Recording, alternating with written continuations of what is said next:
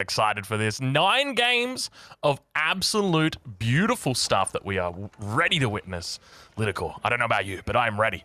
Ladies and gentlemen, I hope you're ready as well because it is time. Welcome, welcome, welcome to the Golden League Grand Finals. This is a best of nine between two of the world's best players. Apparently, according to our UI, we've got two BeastyQTs, and that is how you know he's just on that next level. The double BeastyQT matchup. it's because he's we'll get C2, right? yeah, that's that's exactly it. We will get this fixed up, don't worry. But I can assure you, there you go. Izzy Marine Lord is going to be our second player. BeastyQT, our first player. And let's let's take a look at these spawns. So spawning in on the south side in the color blue, playing as the Mongols, we've got BeastyQT. And on the northern side of the map, a somewhat surprising civilization pick to start the set with. It is Marine Lord, playing as the Abbasid dynasty in red.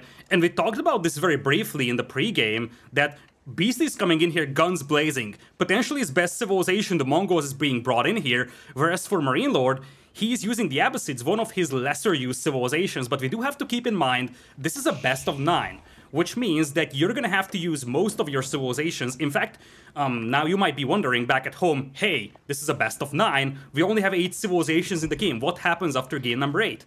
And, well, we got an answer for you for that one. So the way that this is going to work is that in the first eight games, of course, in the case that we go for the eight games, the players will be using one civilization in one game each, and they can't reuse a civilization. So, standard civilization picking rules. And in game number 9, we are going back to Dry Arabia, and the players can choose any civilization that they want. So you have to be very considerate of how you distribute your civilizations here because it's very possible that you will need to have uh, eight civilizations, well, you will need to play all eight civilizations that we have in the game. Now, let's talk about something else a little bit strange. Obviously, having nine civilizations, well, it's something we don't quite have yet. We've only got eight, so we're going to have to run that extra crazy ninth game. But take a look over in the base of BeastyQT right now. We are seeing a stable coming down as his very first production building. And this is very, very strange. This was something that you might have been, if you played Age of Empires 4 back in the beta, then this was something that you would have been happy to do. But things changed a lot. People started moving towards the barracks and gravitating towards that direction. But here we see a stable coming out. What kind of options does that enable him to have, Litter? Well, the first thing, as you pointed out, is that the stable has sort of gone out of meta for a while. Mongol Tower Rush has taken over with the Spearman. so there is definitely some element of surprise, especially given how compact Beastie's base is. You see, that stable is right next to the town center. There's a chance that Marine Lord, being afraid of the town center, might not even scout it. And there is that element of surprise that you can use to hit the gold miners. And what's more important is that you could be the one dictating the game, because as you see, there's a villager moving forward as well for a tower rush, and you will force your opponent to go for archers, and that sets you up as the tempo setter of the game. You're going to have the mobility advantage, and you're just going to continue on from that point on, depending on how successful your tower rush is. And there's no surprise to see a Tower Rush coming out from BeastyQT today. As you know, I am the ambassador of Chicken Wings. He is the ambassador of Tower Rushes. He loves the Tower Rushes. Every single game he plays the Mongols, he pulls out the Tower Rush, and it's no surprise. Sometimes it comes out at like 5 minutes, 5 minutes 30, 6 minutes sometimes, not really a rush. This game, it is going to be before 4 minutes. And, uh, and it seems at this point, Marine Lord is absolutely unaware. Now going to be heading out onto the map, scouting out and I guess one of the, the reasons why you typically expect him to be aware is because that, that scout would be there harassing the villager, trying to cause early damage. But he's not doing it. In fact, he's just just chilling out, just having a good little time. And if you look at Marine Lord's gold count right now, he's at sitting at 81 which means that he won't have enough gold to go for the fresh foodstuffs upgrade, and this is what you're getting with the Horseman. You reach the enemy base a lot sooner than you would if you were using the Spearman. So you can push away the Abbasid player from gold a little sooner. So you can't even get that very essential upgrade, fresh foodstuffs, which cuts your villager price into half, let alone going for wheelbarrows. So you are severely impacting the Abbasid eco with this first few horsemen that are coming out here for Beastie. Spearmen now making their way out onto the field. Marine Lord has hit that second age. We see the new age has begun. He's got enough gold in the bank if he wants to get that upgrade to improve those spearmen all the way up to hardened, because now that he's reached the feudal age, he'll have access to that second level of, of unit. But uh, we can see that he's not researching it at the moment, really wants to just focus in on that fresh foodstuffs and reduce the cost of his villagers down. BeastyQT on the backside is now working towards gold. And look at Beastie just being so damn annoying on this gold mine, still preventing Marine Lord from having enough gold to get that fresh foodstuffs out. This is causing him a lot of havoc in this early stage of the game. Yeah, that's exactly it. You are the tempo setter right now. If you're Beastie, you're pushing away your opponent from that gold. And keep in mind that the Abbasids, they usually like to play two town centers here. So the ideal build for Marine Lord would be to grab the gold fresh foodstuffs, then have enough gold for wheelbarrow, and then transition to stone. And he's nowhere close to that. In fact, if you look at Marine Lord's eco balance, he already has the wood he needs for that second town center, but he simply can't access stone because of the presence of those horsemen. His early game build order is being torn to shreds by this aggression by Beastie. Yeah, this is absolutely huge, and you can see he's managed to get enough gold now for that fresh food stuff, researching it through, and a battering ram is now coming out for Marine Lord. I can't believe that I'm seeing this. We're seeing a battering ram? There's no way he's doing a battering ram this early. We're six minutes into this game. He needs to deal with those towers, but that's a big investment right now. You're going to invest 300 wood into taking those towers down, and this is just helping Beastie so much more, because that battering ram after that is pretty much going to be a non-factor, so you're forcing a ton of investment here from Marine Lord by doing these towers, and this essentially allows you to have complete map control and just do whatever you want, really. If you're Beastie, you're also setting that mining camp on fire now, so you're going to get the bounty here if you're Beastie, and this position looks very convincing right now for our blue player. Yeah, and we see additional outposts coming up. This is one of the things that BeastyQT is famous for doing. He invests his wood into these future outposts that are going to be successful in maybe five, ten minutes. And right now, there's going to be an outpost that is going up over towards the west of where this villager currently is. So you'll see that there's an outpost on our screen, but over towards that secondary wood line, he's already got an outpost that is completed, ready to roll in case the uh, Marine Lord looks to transfer those villages over there. You can see it just chilling out. And as long as he's got line of sight on those villages, it will be able to dish out plenty of damage there. Super smart moving out that attack speed. Arrow going to be coming off. Looking to try and dish out damage over on that, that spearman, but obviously the spearman very steadfast and strong in that corner. Not going to be difficult to deal with until it comes out of the pocket, and then all of a sudden going to be poking its way through. A whole mass more of spearmen going to be able to push back this villager, force them away, and now the uh, looks like the the uh, the horseman going to be heading up towards that northern side, looking to try and dish out damage to that ram. But uh, it, it seems at this point in time that the push has stalled out. The push has stalled out, but Beast is still benefited from this greatly because right now, if you look at Marine Lord's base, it is a big, big mess right now, and he's yet to clean up those towers. Now, Beastie probably hasn't spotted that ram for a while, so that's why he went for the arrow slits on those towers, despite the fact that there is a high probability of him losing this. And look at that, nice little move from Marine Lord, garrisoning the spearmen inside that battering ram to make sure the tower can't kill them. The moment they jump out, Beastie is going to refocus, and now the villager finding a wolf over there, but as you pointed out, Beastie is setting himself up long-term with those towers, making sure that it is as difficult for Marine Lord to clean this up as humanly possible.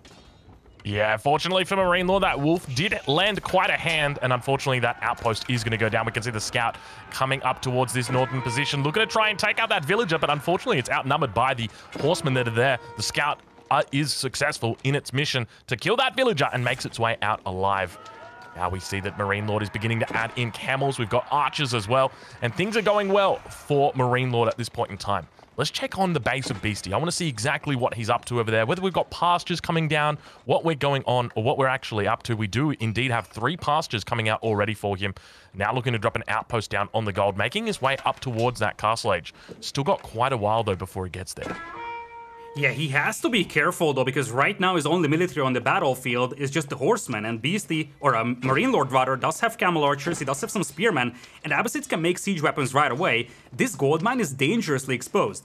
If Marine Lord decides to go aggressive over here, pressure that gold mine, he could easily punish Beastie for a fast castle here, but instead, Marine Lord decides to clean up the towers on that second forest and work his way towards the second town center. This could be good for Beastie, because this is usually how Beastie loves to play the Mongols. Go for that semi-fast castle approach, pick up the relics, and after that, build your second town center. You won't be falling behind that much in villager numbers, but you will be set up long-term, with 3, 4, potentially 5 relics in the bank. Beastie now looking to try and turn the attention towards the enemy's side. We did see that camel come out and try and take out some villagers, but fortunately there was enough horsemen there to deal with it, get sniped out by the Khan. The battering rams also cleaned up the majority of the outposts over on his enemy side of the map. If we can take a look at Beastie's perspective, I'd love to see what his line of sight looks like because typically at this point, Beastie, he would be sitting very happily with just plenty of outposts around the enemy base, but you can see there's absolutely nothing right now. The only thing he's got in regard to to any form of line of sight is that Khan that is just actively over on the enemy side. So Marine Lord's done a great job in this early stage of the game to prevent that aggression from lasting because so typically you would expect to see Springalds coming out with their emplacements, but it's not going to be the case today. Yeah, indeed, it's a great move from Marine Lord, and he secures the northern side of the map with that. The northern side that has two berry patches out there, so it's immensely valuable for the Abbasid player. Beastie still has some horsemen in here, looping around trying to find some straggler villagers, but ultimately his long-term goal is to go into Castle Age, but wait a second, he finds the gold mine over here. Bit of a pedestrian reaction actually from Marine Lord, hello? Marine Lord seems to have fallen asleep at the keyboard. Not the best reaction times right now. I do assure you guys, this guy is considered by many to be a number one player.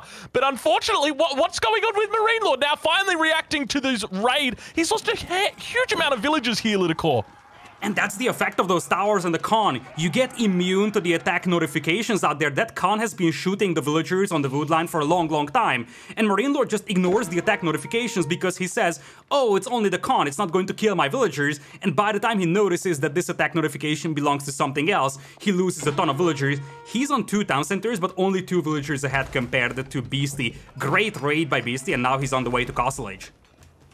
Oh my lord, if I'm a Marine Lord right now, I'm well, I'm probably just waking up. Uh, but uh, I'd, also be a little bit upset with myself, a little bit disappointed. But uh, I mean, one of the things that you mentioned earlier, and I want to point this out, what a beautiful spawn Marine Lord's got this game for the Abbasid dynasty. Double berries on the back. This is such a great spawn because sometimes you do get berries that spawn towards the front. We can see the Beastie's actually got a, a berry spawn towards the front, but Marine Lord gets a double back berries. This is insane stuff for the Abbasid. He's going to be super happy with this, and it guarantees his food income for at least the next four or five minutes. It's a very nice spawn, we can say that for sure. All right. Lidakor, what are we going to do with you? What are we going to do with you? Beastie now up to the, the castle age. Marine Lord going up as well. Uh, that is uh, that is great. Uh, Battering Ram just chilling out in the base for Marine Lord at the moment. Now, one of the things that you mentioned is that Marine Lord has obviously started working on that villager lead. So I suspect from here the plan for Beastie is going to be look to drop down a monastery begin taking control of the relics. And then once he's established at least four out of the five relics, that's where he's going to start working towards that second town center, making sure to drop down a market and trade out all that extra gold that he's gotten from the Steppe Redoubt. Yeah, that's exactly it. That is a very classic style approach by Beastly, and once he has that set up, he's going to start his slow tower crawl, make sure that he has outposts all across the map for vision, for Springald placements, and from that point on, he's just going to be sitting back waiting, essentially waiting for Marine Lord to push because he knows that he is going to be set up with 4 or 5 relics, and the prayer tent is already out, not a single relic garrison for him just yet, whereas for Marine Lord, he's already on the way to Castle Age and he's got a tremendous resource bank, look at that, 1000 food and 900 gold, while also already aging up. What is he going to do with so many resources when hitting Castle Age? Yeah, this is a good question. Obviously, he's got a lot of upgrades that he wants to get upon aging up. And going up with the Culture Wing is going to mean he ha has that access to preservation of knowledge, which has been recently buffed for the Abbasid dynasty. So definitely something that he's going to be looking to, to bring into play. But you're, you're, definitely right. There is a huge amount of resources chilling out for Marine Lord. Def a, a bit curious. Marine Lord definitely seems to be a bit sloppy today, doesn't he? I mean, he was definitely surprised by this one with hello, there are knights once again moving in. And indeed, Marine Lord losing so many villagers once again, Beastie is definitely feeling a lot more confident in this game number one. Yeah, this is this is looking tough for, for Marine Lord. He's got the villager lead, but now the relics are going to start working their way towards Beastie's side. Keep in mind that each player spawns with a safe relic, and then there's three contested relics in the middle. Uh, Marine Lord has walled out that safe relic, though, so there is the potential for five relics to go over towards his enemy. But now those Lancers continuing to apply pressure up towards his second town center. We saw them come in a little bit earlier and take out villagers. Now they're going to be able to take out down that Spearman. More Lancers running in on the woodline, and Marine Lord just getting absolutely run around right now. Yeah, his base has more holes than Swiss cheese. He's trying to wall off the left side, but those Lancers are just tearing him apart right now. And it doesn't matter that you have a villager lead if half of your eco is idle, but Holy smokes, he's only 7 villagers ahead compared to Beastie, and Beastie is working his way towards all those relics. Multiple barracks being added here. It's going to be a grand total of 4 barracks by Marine Lord. Holy spearman. The amount of spears that we're going to see here is going to be brutal. Beastie doesn't have any units that can fight them off right now, and that could be concerning, but it's also a very heavy commitment to just one type of unit here by Marine Lord. Wololo in the middle now, going to be popping off, trying to take control of those spearmen. Fortunately, Marine Lord is paying attention, does get away safely from there, and pops the Relic holding Monk inside that outpost to keep it safe a little bit longer. Very smart move from him. Now we can see that those spearmen are going to be turning their attention towards those those lancers, uh, but at the same time, the Springald emplacement has come through on that outpost. It's going to be able to hold that position down very healthily. But uh, looks like Beastie might have fallen asleep now at the keyboard. Fortunately, Marine Lord wasn't paying attention, unable to really get any good, decent stabs off there. Let's check in over on. Oh, oh, oh no! the second time in the game, the second time that Wolf is coming in to help out Marine Lord. This is only meant to be a 1v1, but it seems it's a 2v1 at the moment, the way Gaia is treating Beastie. At least the deer aren't attacking his villagers yet, so there's a positive about that one. But there we go, second town center for Beasty. If you took a page out of Beasty's textbook of how to play Mongols, this is exactly the page that you would take out. Early aggression with towers, into fast castle relics and then a second town center, starting that slow tower creep right after that with the Springald placements. This is so far a textbook game by Beastie, whereas for Marine Lord, he's struggling to hold these raids. From Marine Lord's perspective, ideally, you'd like to be up by about 20 villages at this point, at the very least. And the problem is, now that Beastie has got that second town center up, it means that all that he remains ahead is eight villages. For the rest of the game, you can assume that it's not going to grow any bigger than that, because Marine Lord's going to have that aggression on his side as well. Now there's and a couple units in the middle. Oh yeah, go on, go on. And Beastie has the Lancers, right? Marine Lord's army is not capable of dealing any damage to Beastie's eco, whereas for Beastie, he can just keep raiding and raiding, and that's exactly what he's doing, just looping around with the Lancers. So, Marine Lord, it is the best case scenario for him to maintain that villager lead. The worst case scenario is that he's soon going to start falling behind. And that's exactly it. And keep in mind, there's also relics that are out on the map at the moment. Beastie currently sitting with one in possession but three on the way back towards his base. And that fifth and final relic, remember how I said there were three contested relics and two safe relics, one for each player? That final relic is the safe relic for Beastie. The confidence level of Beastie is crazy here, by the way. He's fully aware of his position. He knows very well that he doesn't have to take that safe relic right now. He can just go for the more exposed ones. He's going a little greedy with those relics, but he understands that Marine Lord is in such a tough position that he simply can't contest those more exposed relics, so he can wait with the safe relic, just go for those more exposed ones, as the Lancers are once again causing so much trouble for Marine Lord here. Villager difference down to four now, down to three as those villagers continue dying over on that wood line. He's just taking them out left, right, and center, and now two villager difference between these two players. Keep in mind, Beastie's got five relics now in his possession. He is looking very happy, very healthy as he continues harassing his enemy at this point. And Marine Lord, he's he's struggling. He is struggling to say the least. Yeah, he's struggling pretty badly over here. Another couple of villagers getting intercepted on those berries. Beastie is going to lose some lancers to crossbows here, but now look at the villager count. It's essentially even between the two players, and Beastie is sitting on 5 relics. From this point on, all he needs to do is just keep spamming towers, sit back and wait for his opponent to come to him. Because every single element of the game is in the favor of Beastie right now. By the way, he's dropping a Siege Workshop with Mongols, which is a little uncharacteristic instead of going for improved siege engineering, but it also signals something very important. He decides to bail the siege on the siege workshop and spend all of his stone on weapon emplacements. He doesn't want to spend his stone on double training or improved upgrades. All goes into weapon emplacements. Yeah, very smart move there from him. Obviously, as the Mongols, you don't have the ability to mine stone. You don't have the ability to trade for it. There is no way that you can gain it other than having that Ovoo. And the only way that you can get emplacements, especially those expensive Springald emplacements, is with stone. So it means that there is a, is technically a limit on how much you can actually have in that regard. But now we've got ourselves a little bit of a counter push coming out. The first time Marine Lord ever looks to put some pressure on his enemy. We did see that Camel Archer come in earlier in the game, but now it seems that Marine Lord's found a little bit of a spine and he's looking to try and push out off it towards that enemy base.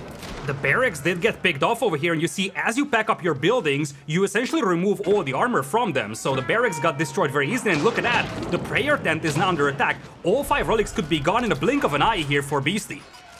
Yeah, he needs to pick this up and pull it back really quickly. You can see he's fortunately got plenty of archers in here. Brantan going to be able to make it out safe, and those Mongol outposts, or rather those Mongol uh, those Mongol race cars, just zoom on out of here. They, they are so damn quick, aren't they? Yeah, if you get the upgrade for them, they're really quick. But you know what else is quick? The death of your archers if they eat some mangonel shots, because that's exactly what's happening. Beautiful hit by Marine Lord on that group of archers. Yeah, that was a lot of damage that came out. The other thing to note as well that Marine Lord tried, or rather Beastie tried to, to save that single Springald. Marine Lord saw it, and so he made sure that his Springald's fire at the exact same time, so it meant that there was no window for Beastie to actually repair that unit up. But a beautiful little raid coming in over on this south side. Marine Lord looking to turn the tables. He's found himself a 10 villager lead right now. He's taken out quite a few of Beastie's villagers. Yeah, quite a few villagers got taken down over here, and keep in mind, Marine Lord does have a pretty respectable resource bank as well, so there is more where this came from. Beastie being cut off from gold a tiny bit over here if you exclude the fact that he's got 5 relics and getting pushed a little bit under his second town center here. Towers and the Springalds supported by the archers and crossbows should be able to hold this one though, but Marine Lord definitely buying himself a lot of precious time over here and he's in the middle of that farm transition, so once he completes that, he could renew these assaults and we could be looking into a very even game here that has a high possibility of going into Imperial. Yeah, that's definitely the case. Now, I, I just want to mention, I, I, love the way that Marine Lord is adapting here. We saw just three spearmen in the base, just building a random ram. And you might think that it's random. I might have said that it's random, but that is not the case. There is an intent behind that ram. There are outposts that uh, are dotted all around this map, and Marine Lord is intent on cleaning them up, as well as cleaning up this little bit of a raid down here like BC is as well.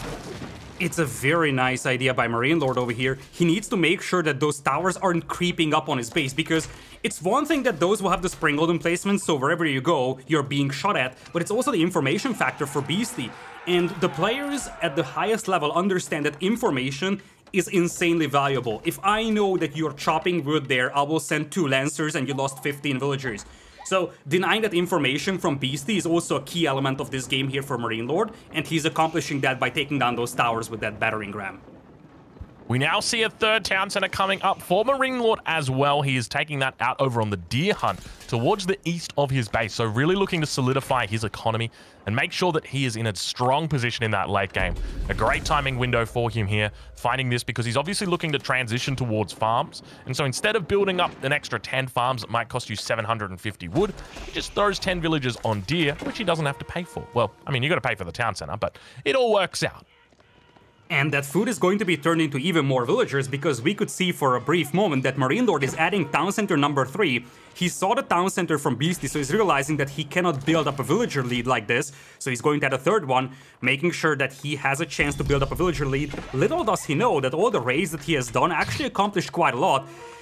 14 villagers lead now for him, and an attempt from Beastie to go for a somewhat ambitious tower out there. Yeah, he's known for these kind of crazy towers, isn't he? Just, I, I, love the way that Marine Lord's assigned a single villager to kill that that uh, that villager building the outpost as well. He's like, eh, I've done the math. This this villager will be dead by, by the time that outpost comes up, so I am fine. Uh, but uh, now we've got ourselves quite a bit of a mass building up in the middle of the map. Marine Lord's got to be careful as all of that siege actually goes idle. He's not paying attention and he does potentially oh. lose this out. The Mangonel goes down. The Springalds continue chasing in tow. There's two more Springalds here. It could be an expensive engagement and indeed it is as the second one goes down for him. Things not looking good for Marine Lord right now tremendous losses out there, and while he was distracted, the Lancers are pushing his gold mine. Things could fall apart really fast over here for Marine Lord because suddenly he finds himself exposed at multiple locations, and there is a likely chance that he isn't even going to notice those Lancers killing his gold miners because he's busy microing this fight, trying to make sure he doesn't lose that last Springald. Wait, there's Lancers killing my gold miners? Again? No, no, not again. it has been a reoccurring theme this game. Beastie just manages to sneak a couple of units into the base of Marine Lord, and he doesn't notice and loses a whole bunch of villagers. And now we continue to see them just being harassed on that gold mine. Hopefully Marine Lord is sending some units up there to clear that out. We'll check in with him shortly. The Beastie looking very strong in this late game. He's looking very strong, and I mean, Beastie and late game is probably the biggest love stories of Age of Empires 4 it, he's unbelievable when it comes to late game. There are just no words for that. His perception of uh, how to play the game in the long scenarios, no matter the Civ matchup, no matter the map, is, I think, one of its kind. So For Marine Lord, you don't want to enter that 45 minute plus domain because that is beastie territory with capital ladders.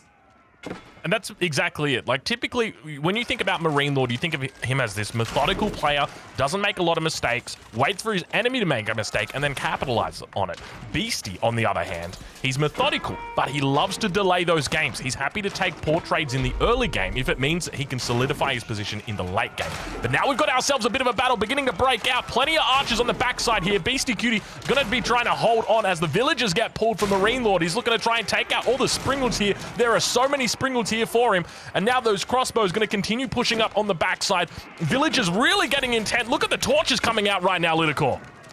Yeah, he's focusing down those expensive Springalds and love how he's moving up with his army. He's understanding that he can win that fight and he's cutting off the retreat path. He's wiping up the floor with Beastie's army over here. Beastie went from 17 military population to just 30 in a blink of an eye. Beautiful surrounding there and suddenly Marine Lord's army is looking a lot scarier than what it used to look like a minute ago. Now dropping a keep in that middle area as well, solidifying control over that central sacred site actually cancels it upon seeing the Springald emplacement placed on that tower you can't help but feel that that excess amount of Springalds that came down for Beastie lent to that outcome. Because when you invest in a Springald, what are you investing in? You're investing in a siege unit that counters other siege units. And when Marine Lord only makes a single Mangonel, and that Mangonel dies before that engagement even begins, then what purpose do those Springalds actually serve? And right there, we witnessed it. They got completely eaten alive. Beastie spent probably close to, I'm, I'm just doing some quick math here, 4,000 resources on those Springalds. And that 4,000 resource could have been on men-at-arms, it could have been on lancers, it could have been on horsemen, archers, spearmen, anything. But unfortunately, it was on Springalds, and it meant he got absolutely whomped. Beastie was probably expecting way more Mangonels here from Marine Lord, and that's not a terrible idea if you think about that. Abbasids, they love to build their siege on the battlefield, so Beastie was probably like, hey, there's a bunch of infantry coming my way from the Abbasids, they're likely going to employ like 3, 4, 5 Mangonels, I need a lot of Springalds. And he probably himself was very surprised about the fact that Marine Lord is not using a single Mangonel over here. In fact, the only non-human component of his army is just one traction trebuchet and one battering ram, the rest of it is all infantry. Yeah, now continuing to push forward. We see those sacred sites being neutralized slowly. A couple of mangonels now coming out for BeastyQT, looking to really live up to that name, CG Cutie. It is something that we see out of him quite a fair bit. Uh, but he's going to continue adding in more siege behind this. We see Springald's coming out for both players now, and a lot of men-at-arms in queue for Marine Lord. Yeah, once you have the Mangonels on the battlefield, Marine Lord can't neglect that. Marine Lord has to add his own Springalds, and that's where those Springalds that Beastie has come into play. They could snipe down the ones coming from Marine Lord. 14 Lancers is also in the army of Beasties, so he does have a tremendous amount of mobility with those, and he could use those for raiding. As we do see Marine Lord getting close to pop cap, so with him being pop capped, he could start thinking about going into Imperial. Beastie, on the other hand, getting close to pop cap as well, but his food count isn't looking spectacular by any means. Yeah, it's something that we've yet to really see for him, bringing out, you know, that huge investment in food. But another bit of a raid coming down. Beastie going to be falling back towards that town center. That Woodline getting raided by just a handful of spears. you know, in that previous series between uh, the Viper and Puppy Paw, we saw a, a raid coming out with elephants. Now we get to see a spearman raid coming out. So it just seems to be a kind of, you know, a kind of day where anyone is happy to throw out any single unit. Anyone that volunteers for a raid, you are welcome to come. Indeed, any kind of damage that you can do on the eco is value, and those spearmen are rather cheap, they might not matter much in a direct battle, but they could mean a lot if you can kill a couple of villagers with them.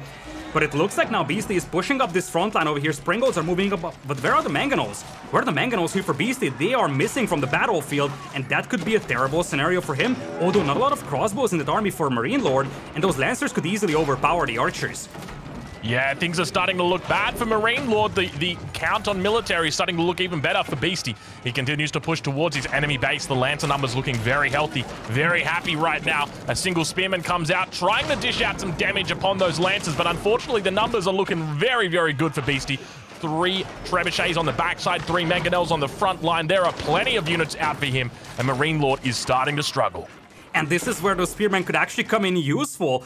It's not a problem to send spearmen to raid if you don't need them in your army, but if you need them like this, it's gonna be a terrible scenario, and we could see for a brief moment that most of the spearmen, 17 to be precise, are down to the south for Marine Lord. Those would be so much needed in this battle against those lancers. they could still do something over here, I guess, on the Ovoo, but there are two Springald towers. Their impact on the southern part of the map is going to be much smaller than what it would be if they were here in the base of Marine Lord, because Marine Lord, he will need to take this fight very soon. His buildings are being trapped down. Yeah, it's a really difficult spot for him. There is so much siege coming out from Beastie that uh, ideally for Marine Lord, he just needs to get out a whole bunch of Springalds. He's sitting on four at the moment. Those units are making their way back towards the base of Marine Lord. At least uh, they might go on, on a little bit of a raid uh, party before they decide to do that. But Springald trades coming out. Players trading one for one. Lancer's on the front line. And Mangonel getting itself a little bit caught here, trying to reproduce and make a second Mangonel potentially. But unfortunately, it looks like they've pulled themselves out a little bit too early. It's not going to be happening today. And now those mangoes just coming off on the back line. You can see the damage getting thrown down upon those crossbows. Going to be trying to keep themselves alive, but unfortunately, Beastie is still in a great position. Marine Lord simply doesn't have the firepower to engage those Mangonels, and you see, here comes Beastie with three more Mangonels. He's got a grand total of eight on the battlefield. He's living up to that nickname of him being the Siege Lord, really. And right now, Marine Lord simply has no answer to that. This is such a tough spot for Marine Lord to hold, but if there's any Civ that can do it, it is the Abbasid dynasty because they have the ability to train those Springalds out on the field. He doesn't have to wait for them in the Siege Workshop. He can make it with infantry. But obviously, we can see them doing a little bit of a dance back there. It's going to be on, on the basis that you've got enough resources for it, and I'm just having a look at Marine Lord's bank right now. Marine Lord, make more Springalds! you can afford to make 10 Springalds. Get them out there. What are you doing, kid? He has a tremendous resource bank, but he simply can't put units on the battlefield because he's losing production buildings. He does have the infantry to beat, uh, to bring siege into the battle with. But the problem is that Springald's now won't be enough either, because suddenly there's a bunch of crossbows rampaging his eco, and half of his economy will turn idle in a blink of an eye. Population 200 versus 160, and Beastie is turning on cruise control with that siege group. Yeah, and this is the timing that he was looking for. He, he goes into that single town center, picks up the five relics, gets out that second town center, and this is the window that he's looking for. This is the window that he hits. It was left open for a little bit too long, and Beastie climbs right through it and says, G'day, mate, how you going?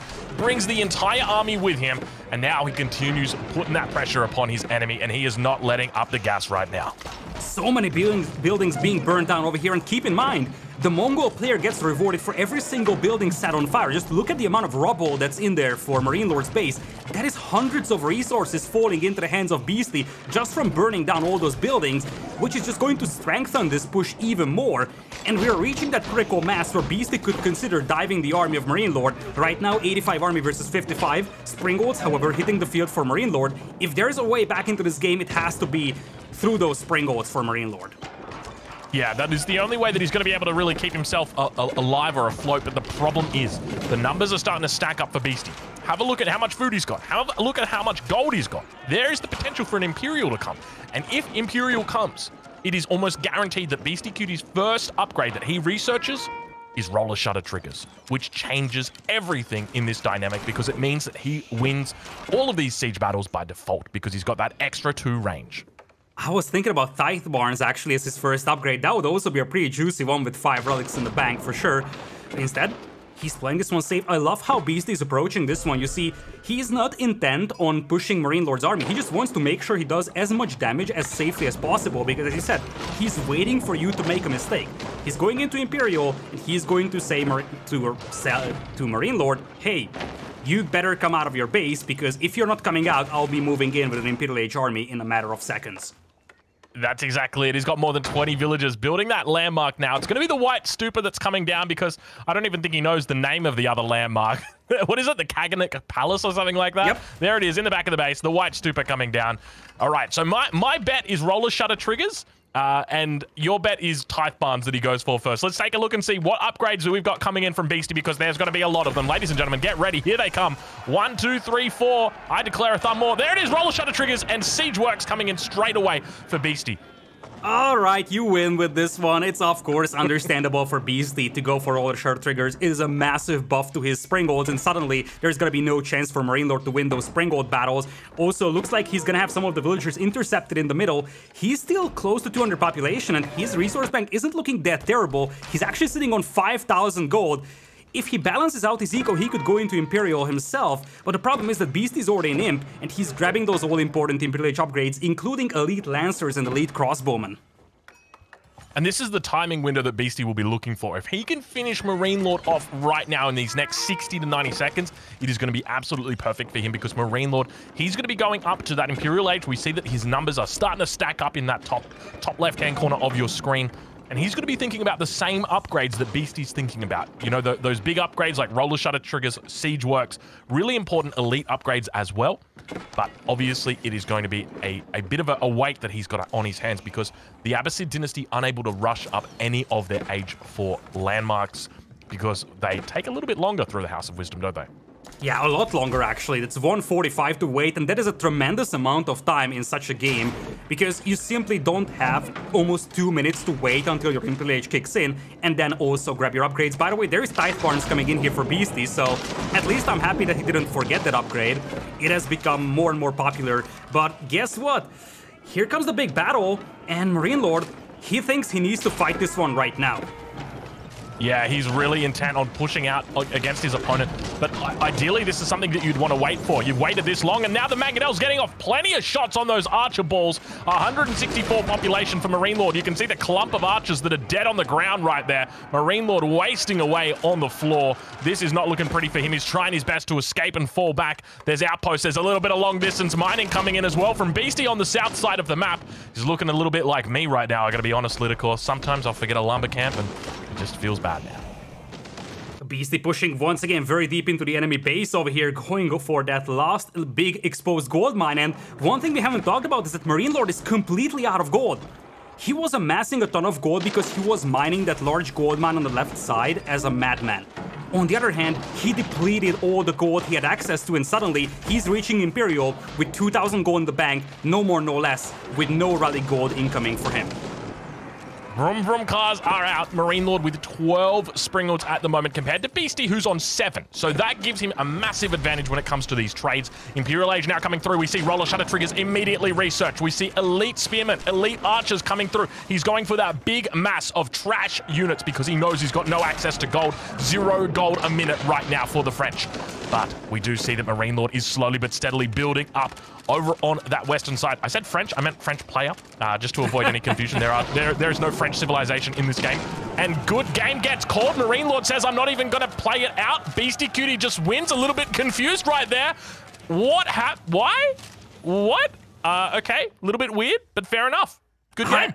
I, think this may have been the moment where Marine Lord realized that he's completely out of gold and he's just sitting there watching, okay, I'm going to get good Springald traits here, but Beastie does have access to gold and I don't, and he's sitting on 5 relics. Like, at this point, even trades are insufficient for Marine Lord and he simply didn't have the army to take non-even trades.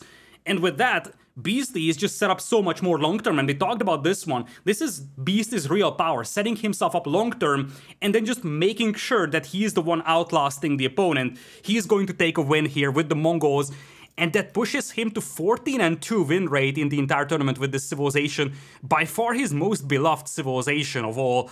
He brought out the big gun for game number one. Marine Lord went for a bit of more reserved civilization pick, so to say, a civilization that doesn't use that commonly. Beastie, bringing in the big guns, bringing in his favorite civilization, takes game number one. Impressive stuff there from Beastie. We'll be heading into game number two shortly, so do not go anywhere. If you are planning to get something to drink now, it's probably a good time. If you're wanting something to eat, well, you're going to have to wait for this best of nine to end because we are going to be here all damn day and we are going to be enjoying the heck out of this.